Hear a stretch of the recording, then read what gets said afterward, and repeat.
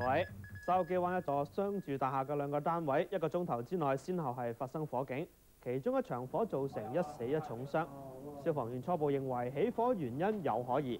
現場係筲箕灣金華街十五號四樓一個單位，喺朝早八點半鐘左右發生一級火，五十歲姓朱嘅房東死亡，另一個住客就兩成皮膚燒傷。而一個鐘頭之後，七樓另一個單位亦都發生一級火。消防員話，兩個單位嘅起火原因並冇關聯。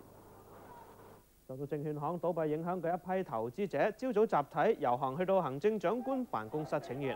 當中大部分係正達同埋福權證券公司嘅投資者，佢哋指政府冇監管證券行同埋財務公司，令到佢哋蒙受損失，要求政府係承擔責任。廣東廣梅公路係發生嚴重嘅交通意外，造成二十一個人死亡，十四人受傷。